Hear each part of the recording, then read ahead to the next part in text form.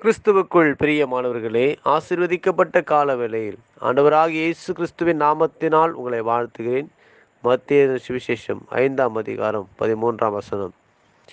நீங்கள் பூமிக்கு உப்பாய் இருக்கிறீர்கள் உப்பானது சாரமற்று போனால் இதனால் சாரமாக்கப்படும் வெளியே கொட்டப்படுவதற்கும் மனுஷரால் மிதிக்கப்படுவதற்குமே ஒழிய வேறொன்றுக்கும் உதவாது என்று பார்க்கிறோம். ஆண்டவர் இங்கே சொல்லுகிற வார்த்தை குறித்து பார்க்கிறோம். நாம் இந்த பூமிக்கு எப்படியா இருக்கிறோம் என்று சொன்னால் ஆண்டவர் சொல்லாரு நீங்கள் பூமிக்கு உப்பா இருக்கிறீங்க. உப்பானது சாரமற்று போனால் அது எதினால் சாரமாக்கப்படும். முன்பெல்லாம் உப்பு ஆனது சாக்கு பையில் அடைக்கப்பட்டு கடைகளுக்கு வெளியே வைக்கப்பட்டிருப்பதை நாம் பார்த்திருப்போம். அந்த கடைகள் வைக்கப்பட்ட சாக்கு பைகள் பார்க்கும் முழுவதும் ஈரத்தால் நிறைந்திருக்கும். அதனுடைய உப்பினுடைய சாரம் அந்த சாக்கு பை முழுவதுமாய் நிரம்பியிருக்கதை பார்க்கிறோம். அன்பான தேவச்சனமே அந்த உப்பினுடைய சாரம் இருக்கிற வரைக்கும் தான் அந்த உப்புக்குரிய அந்த கனம் உண்டு அந்த உப்புக்குரிய சுவை உண்டு உப்புக்குரிய தன்மைகள் உண்டு.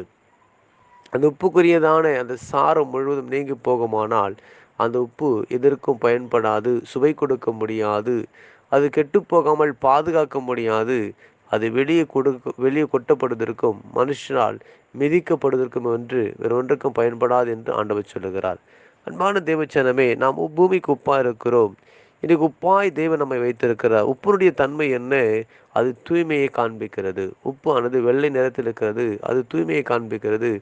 அது பரிசுத்தத்திற்கு அடையாளம். நம்முடைய வாழ்க்கையில் நாம் எப்பொழுதும் ஆண்டவருக்கு முன்பதாக அவருடைய சாரத்துக்குள் இருக்கிற நாம் பரிசுத்தத்தை பாதுகாத்து கொள்ள வேண்டியது அவசியமாக இருக்கிறது. இரண்டாவது உப்பானது எளிதாய் அது எந்த உணவில் அது எந்த இடத்தில் அது பயன்படுத்தப்பட்டாலும் முழுவதும் கரைந்து எல்லாருக்கும் அது சுவை கொடுக்கக்கூடியது. அன்பான தேவச்சனமே நாம் குறிப்பிட்டவர்களுக்கு மாத்திரம் அன்பு செலுத்துவர்களாய் குறிப்பிட்டவர்களை மாற்றம் நேசிக்கிறவர்களாய் இராதபடிக்கு தேவப்பிழக்க நாம் அனைவரையும் நேசிக்கும்படியான இருதயம் நமக்குள் தேவைப்படுகிறது. மூன்றாவது உப்பினுடைய தன்மை என்ன? எந்த ஒரு பொருளும் கெட்டுப்போகாமல் பாதுகாக்கப்படுவதற்கு உப்பு பயன்படுத்துவார்கள். அப்படியானால் உப்பு என்ன? அது தனக்குரிய சாரத்தை வைத்து மற்றவர்களை கெட்டுப்போகாமல் அநேக ஆண்டுகள் அநேக மாதங்கள் அதை பாதுகாக்கிறது.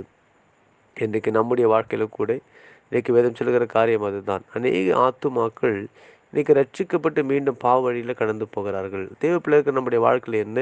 வேதம் எதைச்சிருக்கிறது ஆயத்தப்படு. உன்னோடு ஒரு கூட்டத்தை ஆயத்தப்படுத்தி அவர்களுக்கு காவலனாயிரு. அப்படியானால் ரட்சிக்கப்பட்ட மக்கள் மீண்டும் பாவத்தில் போகாமல் கெட்டு போகாமல் அவர்களை கிறிஸ்துவுக்குள் திடப்படுத்தி கிறிஸ்துவுக்குள் பலப்படுத்தி அவருடைய பாதுகாக்கும்படி தேவன் நம்மை வைத்திருக்கிறார்.